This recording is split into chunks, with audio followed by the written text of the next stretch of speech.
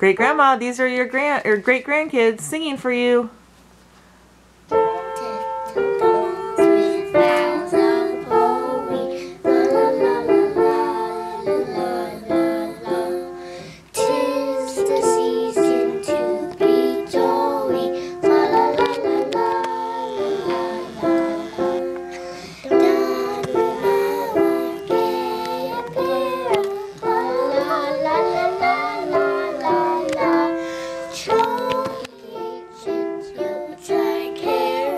Good.